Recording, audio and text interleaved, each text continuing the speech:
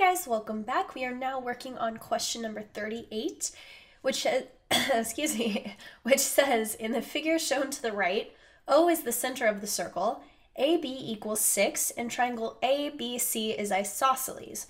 What is the area of the triangle ABC?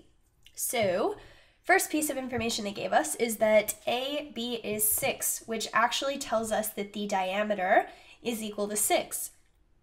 Because this is the center, that also tells us that this length is 3 or the radius is 3. So now what we can do, that helps us because now if we break this up like so, this here is also 3 because this is also a radius.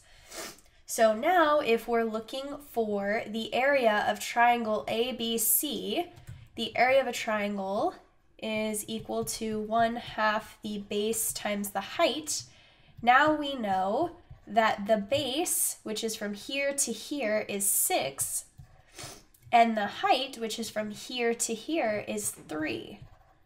So now what we have to do is 6 times 1 half is 3 times 3, which equals 9. So our answer would be answer choice B. All right, well, that was a quick video, but if you had any trouble with this, I would recommend reviewing properties of circles. Um, yeah, and I think that's that's pretty much about it for this one. All right, thanks so much for watching. If you have any questions, comments, concerns, requests, anything like that, please leave them in the comment section below, and I'll be sure to get back to you. Thanks for watching.